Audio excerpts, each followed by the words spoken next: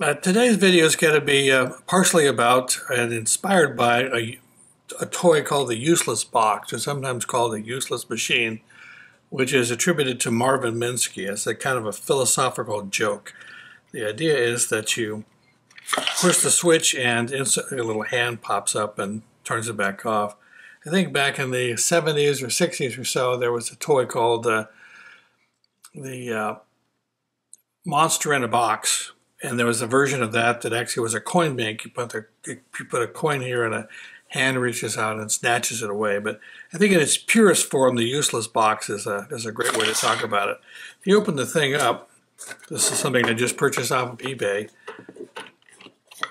You'll find essentially a little motor drive mechanism inside, and uh, there's a, a, a toggle switch and it has two positions. In one position, it causes the motor to drive in this direction towards the switch, and when the switch is still the other direction, it causes the motor to drive back in the other direction, except that it can only drive back so far for it hits an interrupter switch here, which if I go ahead and, um, I guess I can't, if I hold it down while I press the switch,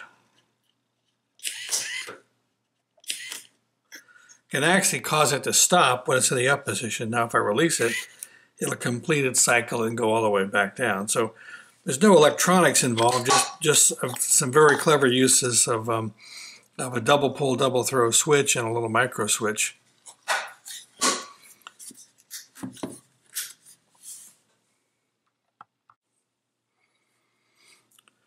So this is a circuit inspired by the useless box. Essentially, it's inspired by something a friend of mine remembers me making when I was in high school. Uh, some kind of circuit. I think I built it out of a, a Radio Shack code practice oscillator, which I think you could buy for about about a dollar, and it was the basis of many of my little wacky circuits. Um, but he remembers me building a box where when you threw a switch or something on it, it began making a tone that began increasing in frequency, getting higher and higher and higher. But there was no way to turn it off. Um, and of course that was the joke of the whole thing. So this is the this is the modern day version. I've I've revisited that circuit, and probably easiest to demo what it does. You push the button, and it begins throbbing. Now, preferably it's going to have some kind of warning on it says "Do not press the button" to inspire the curious to do exactly that. After a few cycles of pulsing the light, it begins making this this tone which to all intents and purposes seems like it's getting higher and higher in pitch. The tone is actually something called a Shepard tone, which is invented by a fellow named Roger Shepard. Um, it uses a, a, superposition of sine waves that are separated by octaves. So while it, to the ear it sounds like it's increasing in pitch, it's really just cycling around and around as one pitch goes up, another pitch begins an octave lower and begins over again. And the joke is that once you've turned it on, nothing you can seem to do can turn it back off again. But there is a trick. Um, if you press and hold the button until the button illuminates again, then that'll cause the entire thing to power down. So this is the device that I, that I set out to build for my friend. And here's the circuit that makes it all work. Um, the tone's generated by this little module I bought off of uh, eBay called the DF Player Mini. Essentially takes a micro SD card that contains one or more um, MP3 audio files, um, as many as you can fit on the card. In this case, I just have the single tone on there. I have an ATtiny 85 that I'm programming using a special adaptation of the Arduino IDE. There's an additional package you can install that lets you program these little chips. They cost about a dollar, so it's easy to put in a throwaway circuit. Then one of the key components is this device here, which is MIC 9409, which is something called a high side load switch. It's made by Micrel or Micro, I think is now owned by Microchip. Essentially, it's it's just a switch, electronic switch, where when the enable input is, is taken high relative to the battery, that it switches on a MOSFET over here that allows power to flow through to some kind of a load over here. If you take this low again, it shuts off the power. And the ideal advantage is that it doesn't really consume any power at all, maybe microamperes when this when this enable line is low. So here's how I put that together with um, the rest of the components. The um, pin 6 is the enable input, pin 4 is the power input, and pin 1 is the power output. So it drives the mini player on the ATtiny85 right here. Uh, this, this input, the enable input, is held low through this 1K 1 meg combination right here so that it doesn't if it doesn't float high and switch it on randomly. I'm not sure this is necessary, but just as just general design, I, I wanted to follow through with it. I think this device may actually contain an internal resistor that pulls it down. So the way that it works is that when you press switch 1 here, it sources current through the 100K resistor, but also to D1 diode, and it actually pulls this, this signal high, thus turning on the switch and powering up the ATtiny. At that point, if you were to release it, the thing would normally turn back off, except that the ATtiny, the first thing it does when it's powered up is it turns this, this pin here, which is programmed to be an output pin, high, which pulls this circuit high through the 1K resistor, which even after you've released this button, the 1K resistor is going to hold this circuit high even even addition, even though there's 100K resistors trying to pull it low again. That's going to hold the circuit on for as long as the ATtiny wants to keep things operating. So then it goes through its cycle and begins, it begins um, playing the tone and so forth.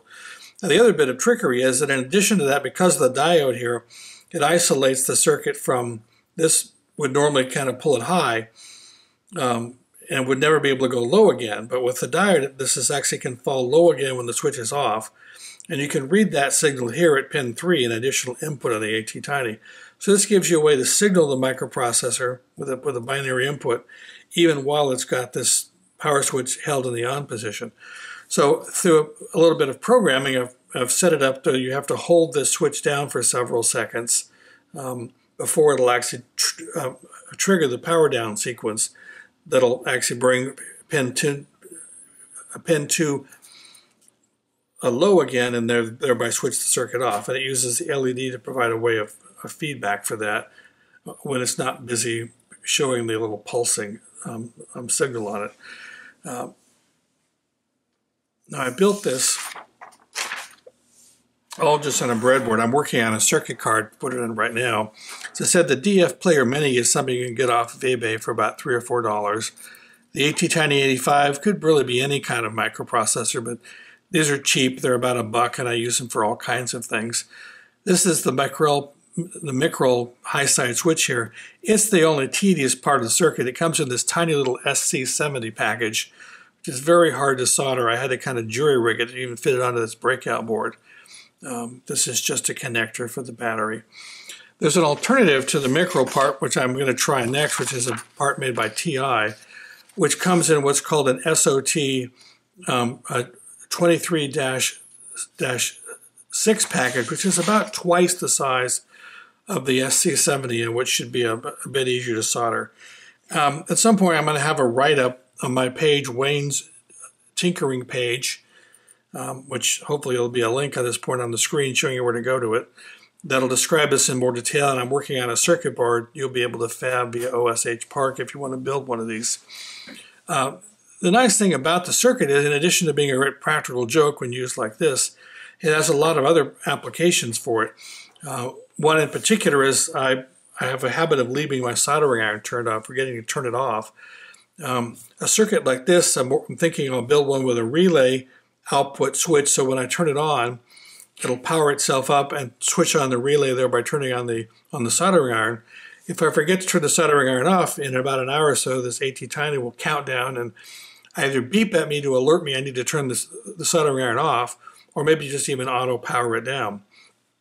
Or just as the circuit exists right here would be a great little toy for a child. You could you can put hundreds of different MP3 files on this SD micro SD card. So you can make a, a talking toy where the child has a switch maybe in the in a stuffed animal's hand that they squeeze and it powers up the circuit. It would randomly pick one of the MP3 files and, and it could sing a song or read a story or, or do something like that. The total parts count for this is really less than $10. Um, the tricky part of it is going to have to be a battery. I'm probably going to use three um, three AAA batteries in the final design. I don't want to waste a I don't want to have to put in a charging circuit for a LiPo poly battery. So just using regular cells will make this thing easier to to to to, um, uh, to replace and repair. And probably many other applications, a portable instrument where you have to take it out into the field and you don't want it to run down the battery, so you have a power up circuit, you switch it on, and after maybe 10 minutes, it'll turn itself back off if you haven't powered it off. In that case, you'd probably program it to be a, or a short pulse initial press would, would turn it on.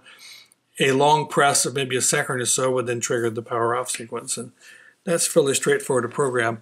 As I said, once I once I get this finished, I'll have more details on my on my webpage, Wayne's Tinkering page, um, and I'll describe the circuit in more detail and describe the software and give you a couple other examples of the things you can build with this.